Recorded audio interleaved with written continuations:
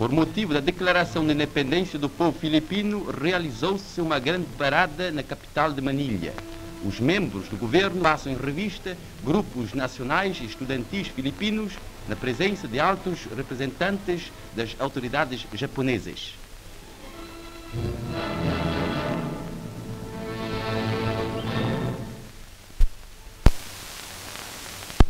O diretor nacional da Estônia, Dr. Mai, comunica a mobilização geral do país.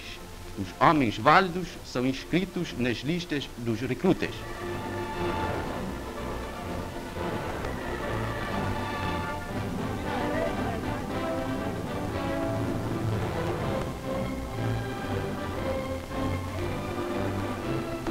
Os camponeses entregam os seus cavalos para fins militares.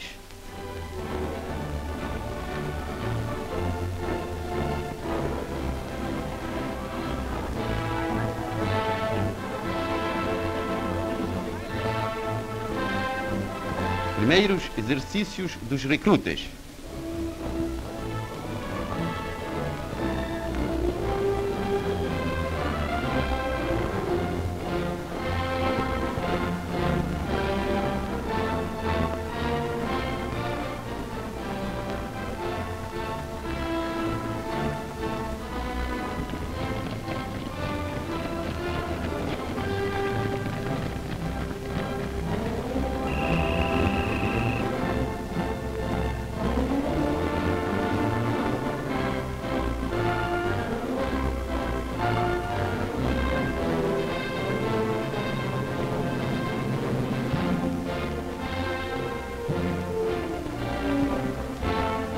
Milhares de combatentes enquadrados na luta contra o bolchevismo.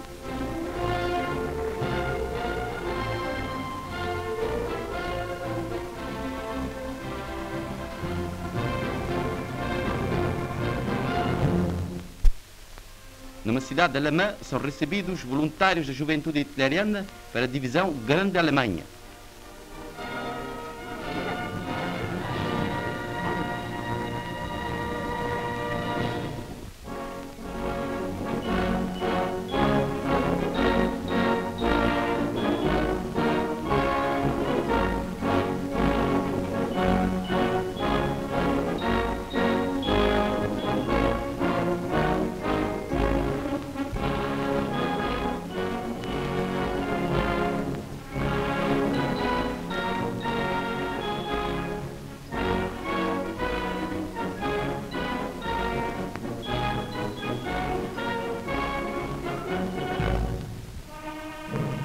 Membros da juventude hitleriana.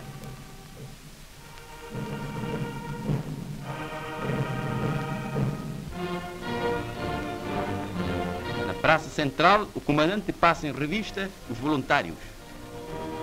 Os instrutores, na maioria sargentos experimentados e condecorados, junto dos voluntários. O comandante saúde o seu soldado mais jovem.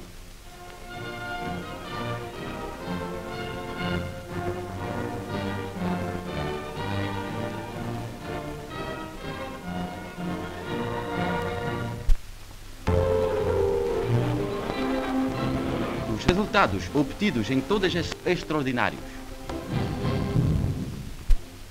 E húngaros num encontro de amizade. Vemos o campeão europeu no peso pesado Tenhoff e o húngaro Tamasi.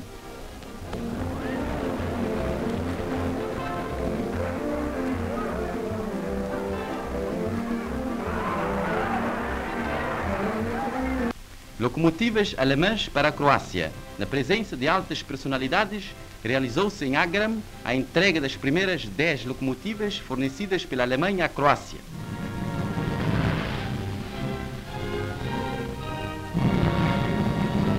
Uma viagem de ensaio numa destas máquinas modernas.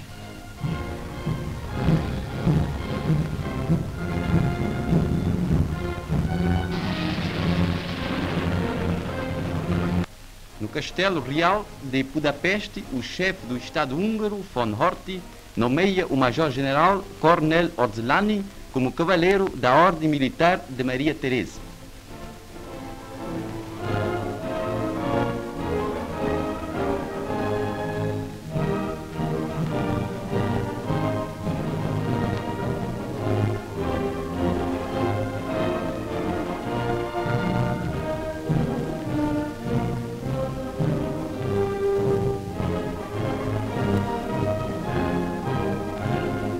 Major-General Oslani é o primeiro oficial húngaro a receber esta alta condecoração.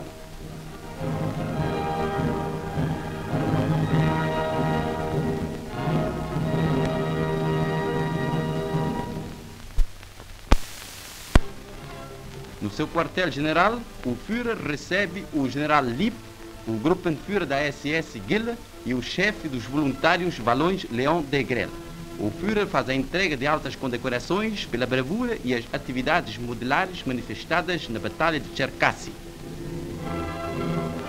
O chefe das unidades valãs, Leon de Grelle, foi condecorado com a Cruz de Cavaleiro.